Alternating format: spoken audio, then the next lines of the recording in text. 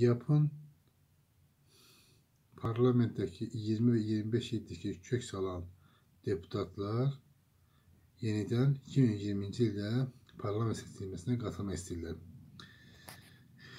Parlamentdə 20 və 25 ildir kök salan və xalqa heç bir fayda verməyən millət vəkillərinin kiçik bir hissəsini sizə siz də tanıyın.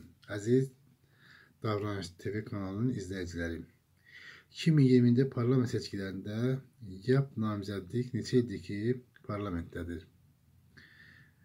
Mikhail Zabelin 25 il, Eldar İbrahimov 25 il, Hadı Rəcəbli 25 il, Ziyafat Əskarov 25 il, İmamverdi İsmailov 25 il, Məlahat İbrahim qızı 20 il, Siyavuş Novrozov 20 il, Musa Quliyev 20 il, Oktay Əsadov 20 il, Aydın Mirzəzadə 20 il, Əli Hüseynov 20 il, Səməd Seyidov 20 il, Nizami Cəfərov 20 il, Bəxtiyar Sadıqov 20 il, Elman Məmmədov 20 il.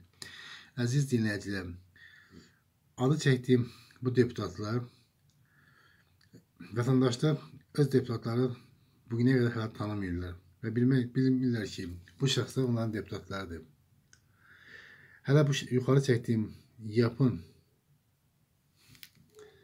yapıda olan deputatlar yenidən 2020-ci parlament seçkilərində qatılmaq istəyiblər.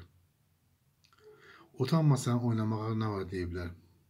Görünür, xalq üçün heç bir iş görməyən bu şəxslər hansı üzdə yenidən xalqın etimadını qazanmaq istəyirlər. Təbii ki, onların artıq mandatları hazırdır.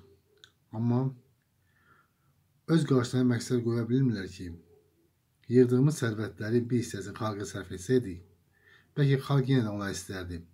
Amma bugün isə onlar yalnız nənələrin əllərini öpməklə bugün kütləvi informasiya vasitəsinin gündəmdədirlər. Və bugün xalq üçün heç bir iş görməyən bu deputatlar əslində deyiblər ki, xalq kimdir bizi seçsin? Bizim deputatlar mandatımız hazırdır. Sadəcə bu bir oyun idi.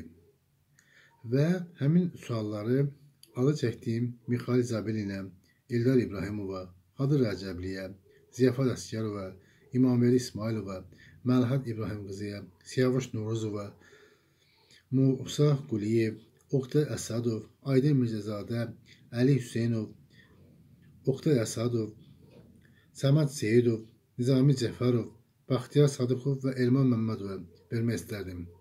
Axı siz Milli Məclisdə təmsil edirsiniz. Niyə milli məclisi buraxdınız və yerinə qatılmaq istəyirdiniz? Bununla dəyişən nə oldu ki? Sadəcə xalqın etimadı qazanmamaq üçün xalqın artıq səbir kasası dolub. Bəsdir xalqınızı başına bu oyunlar açdınız. Onsa da xalq sizi görmək istəmir.